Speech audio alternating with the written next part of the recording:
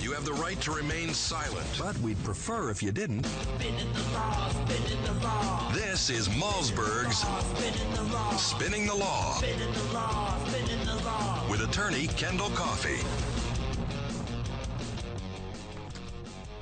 All right, folks, we welcome you back to the Big Steve Malzberg Show, and we say hello to the one and only Kendall Coffey. Hello, sir.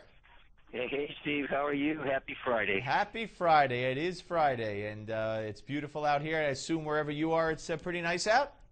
Spectacular. Looking at some uh, some uh, Atlantic Ocean and some sailboats right now. Nice, very nice. Well, I appreciate Yeah, you. Uh, nice I appreciate you including me in that. Uh, in that whole, uh, I guess, uh, puzzle or whatever it is, you know, painting. Anyway, okay, let's talk a little bit about, of course, the uh, the Supreme Court decision that came down earlier this week, um, knocking down the uh, the or basically what it did was was it upheld the right of the people of Michigan to decide to knock down racial quotas uh, as a tool for admissions into their universities.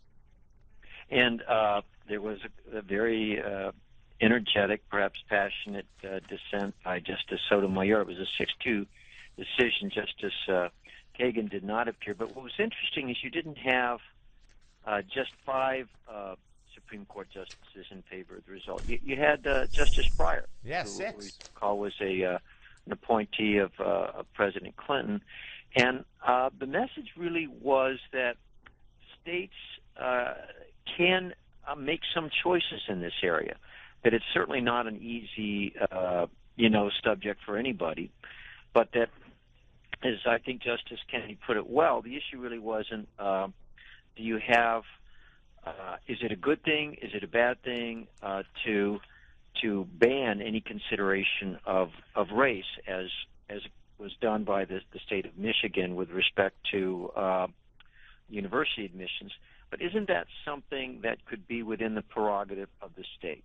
So, for example, if a state wants to have some consideration of race, not as a quota, but as a plus factor, should the state have the right to do that? And if a state wants to completely eliminate any use of, of uh, racial preferences in university admissions, shouldn't that be within the prerogative of the state? So, kind of the bottom line was it uh, that it really is seen by Justice Kennedy and, and the majority of the court. It's not about racial preferences, but how that issue should be resolved. And again, the decision that the court made is it, it should be decided by the people of the state. Uh, and uh, you know, we emphasize this isn't a case where there was uh, evidence of past discrimination and that this uh, might affect a remedy. This was a situation where this is what the state of Michigan decided. It was upheld. It's an important decision, Steve. I think other states uh, may consider following it, uh, but uh, uh, in some ways it's a landmark. In some ways it's uh, it's expected. Well, let me let me ask you this: Why does it then not extend uh, to? And uh, uh, maybe I'm jumping to a conclusion, but this is from everything I've heard and read. Why does it then not extend to, let's say, a, a, the right of a state to have a Prop 8 in California? I know it's a different issue, but if, is it not the, the same state's right kind of an issue where the people have decided this is how they voted and, and they have a right to, or why, wh- uh, or how was how is Prop 8 different uh, than uh, this prop that was voted on by the people of Michigan? Well, I, mean that's that's a fair question. Uh, as we know, Justice Kennedy, often the, the swing vote, had written uh, an, a, an opinion that uh, struck down uh, something somewhat similar in Colorado, in the sense that it uh, but affecting gay rights laws.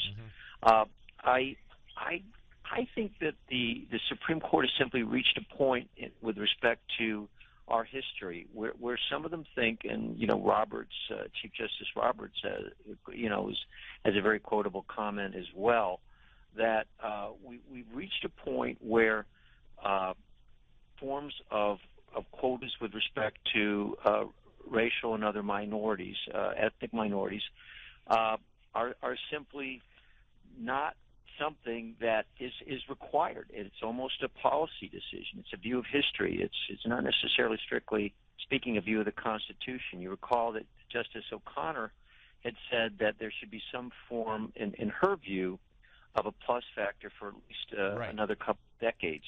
This court seems to be reaching the conclusion a little faster in terms of watching uh, the, the the flow of history. So was that, this? uh, I, am sorry to interrupt. I'm sorry. To No, interrupt. no, So, so, so was this a decision uh, based on their, the, the court's view of affirmative action, or was this a decision based on uh, that said they had the, the state of Michigan had a right to, to, to vote on this and they voted on it legitimately and it, it, it'll stand because they have a right to decide these kinds of things and and do they dis- and obviously they distinction and make uh, between racial quotas and gay marriage. I mean, It- no. There, there seems to be such a distinction.